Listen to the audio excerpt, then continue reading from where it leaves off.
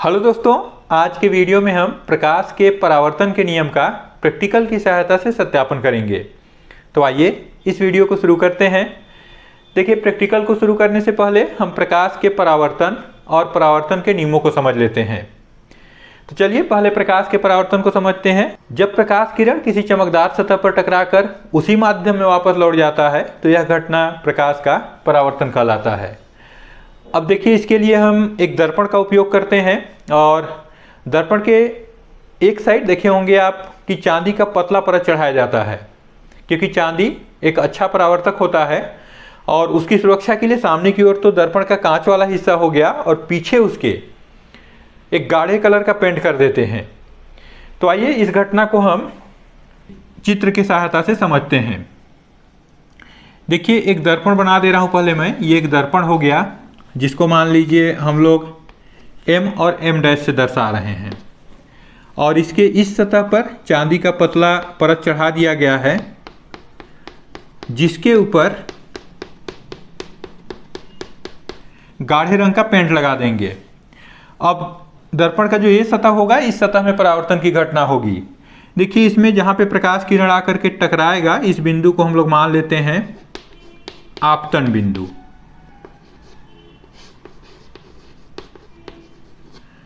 जहाँ पर आपतित किरण आकर के टकराता है। देखिए, यहाँ पे इस तरह से यदि एक रेखा खींच दें, ये ये प्रकाश किरण जा रहा है, यहाँ पर टकराया है। जहाँ टकराता है, वही बिंदु कहलाता है आपतन बिंदु।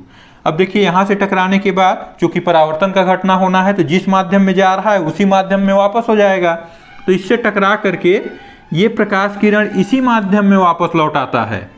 ये देखिए, यहाँ से ऐसे लौटने का चिन्ह बना दिए। तो जिस माध्यम से गया, उसी माध्यम में लौट आया, यह घटना कहलाएगा प्रकाश का परावर्तन। अब इस चित्र को थोड़ा सा और पूरा कर लेते हैं। देखिए, इसको बोलेंगे हम लोग आपतित किरण।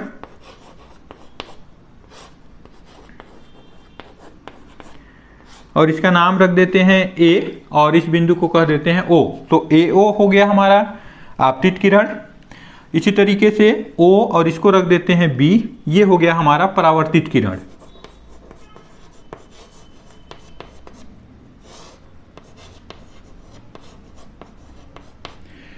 अब इस ओ बिंदु से अर्थात आपतन बिंदु से हम एक काल्पनिक रेखा खींचेंगे। ये अभिलंब कहलाता है और इसको दर्शा दिए हम यन से। और ये कहलाएगा अभिलंब। अब देखिए यहाँ पे दो कोण बन गए हैं, एक आपतित किरण और अभिलंब के बीच में। तो इस कोण को कहते हैं हम लोग आपतन कोण।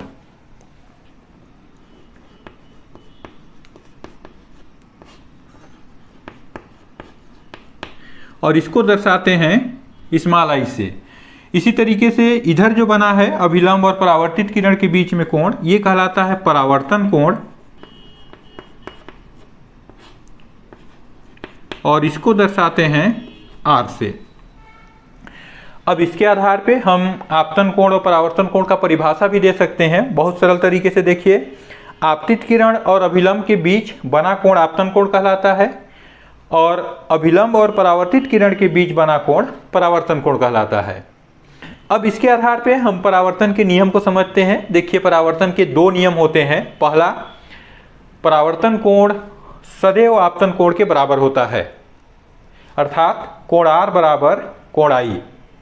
और दूसरा नियम है, आपतित किरण, परावर्तित किरण और आपतन बिंदु पर अभिलंब। ये तीनों एक तल पे होते हैं। हम अपने प्रैक्टिकल में आज इन्हीं दोनों नियमों का सत्यापन करेंगे।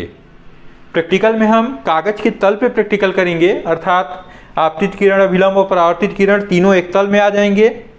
और दूसरा सत्यापन करेंगे, यदि हम आपतन कोण का मान जितना लेंगे, उतना ही हमारा प्रयोग में आएगा परावर्तन कोण का मान। यदि ऐसा होता है तो प्रकाश के परावर्तन के नियम का सत्यापन हो जाएगा। तो चलिए, अब हम अपने प्रैक्टिकल को शुरू करते हैं। इस प्रैक्टिकल के लिए आवश्यक सामग्री में चाहिए आपको एक ड्राइंग बोर्ड, एक वाइट पेपर दर्पण दर्पण स्टैंड थ्रॉम पिन और पेपर पिन और साथ ही साथ आपको एक चांदी की आवश्यकता होगी, एक स्केल और एक पेंसिल तो सबसे पहले हम दर्पण को रखने के लिए एक लाइन बनाएँगे। ये देखिए, यहाँ पे हम अपना दर्पण को रखेंगे और इस दर्पण के इस हिस्से में पेंट किया हुआ है।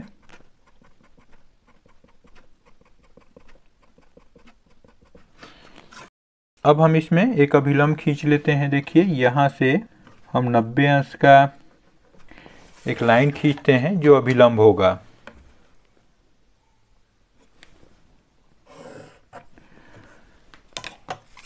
अब उसके बाद हम एक आपतन कोण भी बना लेंगे। चलिए हम इस परावर्तन के लिए आपतन कोण का मान 40 अंश रखते हैं। आप चाहे तो परावर्तन कोण का मान अपनी मर्ज़ी अनुसार जितना चाहे उतना रख करके खींच सकते हैं। तो आपको भी दर्पण को रखने से पहले इतना तैयारी पहले आपको करना होगा। ये देखिए आपतित किरण होगा और ये हमारा आपतन कोण हो गया जिसका मान हमने 40 अंश लिया हुआ है। अब हम इस पेपर को पहले इस थ्रोम पिन की सहायता से फिक्स कर लेते हैं, ताकि हमारा दर्पण और पेपर अपने स्थान से न हिल पाए। अब इसमें हम ऐसे दर्पण स्टैंड में इस तरीके से फंसा के दर्पण को इस लाइन पे हम फिक्स कर देंगे। और हम दो पिनों को इस आपतन कोण वाले रेखा में कहीं पर भी ऐसे सीध में ले करके इनको गाड़ देते हैं। देखिए दोनों पिन एक सीध में दिखाई दे रहे हैं। अब हम क्या करेंगे? इस एंगल से देखते हुए इधर इन दोनों पिन को दर्पण में देखेंगे और इधर से हम उन पिनों को ऐसे गाड़ेंगे कि पीछे के दोनों पिन ढक जाएँ। तो आपको इसी को ध्यान देते हुए इन पिनों को गाड़ना है। चलिए मैं आपको दिखा देता हूँ कैसे होगा ये। ये देखिए, ये बाहर से पिन ऐसे दिखाई दे रहे हैं। आप दर्पण के भीतर को देखिए, ध्यानपूर्वक। तो ये पिन एक सीध में आपको दिखाई देंगे ऐसे। ये सामने वाला पिन क्या किया है कि पिछले वाले पिन को ढक दिया है। और हमको ऐसे ही इस दिशा में पिन गाड़ना है जो कि पीछे वाले दोनों पिन को ढक दे।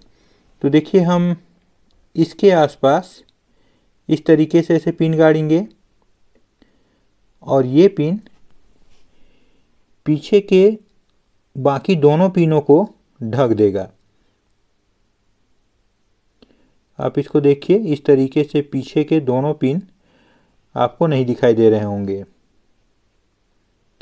अब हमको एक पिन और गाड़ना है और ये पिन इस पिन को भी ढक देगा ऐसे। तो इस तरह से यदि हम पिन गाड़ेंगे तो एक पिन सामने का पीछे के सभी पिनों, अर्थात तीनों पिनों को ढक देगा तो हम विशेष रूप से इन पिन के इस आधार हिस्से को देखेंगे। देखिए, यहाँ पर को, और यदि ये हिस्सा बाकी सभी पिनों को ढक दिया है, तब हमारा प्रैक्टिकल सही हो रहा है और यदि इसको आप ऐसे देखिए तो ये आपके सभी पिन देखिए अलग अलग दिखाई दे रहे हैं। अब हम इस दर्पण को हटा लेते हैं और सावधानी पूर्वक हम इन पिनों को निकालते जाएँगे और वहाँ पे उनके स्थान पे, जहाँ से हम पिन निकाले हैं, वहाँ पे हम ऐसे गोल घेरा करते जाएँगे। इस तरह से देखिए। अब हम इन दोनों बिंदुओं को मिलाते हुए इस तरीके से एक लाइन खींच देते हैं। ये हमारा परावर्तित किरण हो गया। अब हम इस चांदा को रख के इस परावर्तन कोण के मान को नाप लेते हैं। देखिए, जितना मान हमने आपतन कोण का रखा था, उतना ही मान परावर्तन कोण का भी प्राप्त हुआ। इसमें हमने 40 अंश लिया था और यहाँ पर भी ये 40 अंश ही प्राप्त हो रहा है। और अब हम इसका नाम लिख लेते हैं। ये होगा आपतित किरण।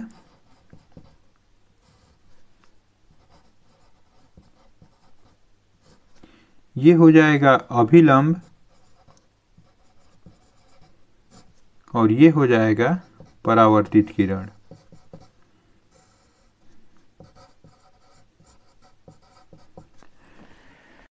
देखिए, इसको हम लेज़र लाइट की सहायता से भी चेक कर सकते हैं। यदि हम आपतित किरण के ऊपर से लेज़र को भेजते हैं तो वह परावर्तित होकर के परावर्तित किरणों के ऊपर प्राप्त होता है। तो इस तरह से जब हमने आपतित किरण, परावर्तित किरण और अभिलंब को एक ही तल में रखा, अर्थात कागज़ के तल में रखा तो हमारा जो परावर्तन कोण का मान है, ये आपतन कोण के मान के बराबर प्राप्त हुआ। तो यही दोनों परावर्तन के नियम हैं और हमने इस प्रयोग के द्वारा ये सिद्ध कर दिया कि परावर्तन का नियम सत्य है। तो दोस्तों, इस तरीके से आप इस प्रैक्टिकल की सहायता से परावर्तन के नियम का सत्यापन कर सकते हैं। और साथ ही साथ आप परावर्तन को और परावर्तन के नियमों को भी अच्छी तरह से समझ गए होंगे। यदि यह वीडियो अच्छा लगा तो इसे लाइक कीजिए। चैनल को अभी तक सब्सक्राइब नहीं किए होंगे तो इसे सब्सक्राइब कीजिए और दोस्तों के साथ शेयर कीजिए।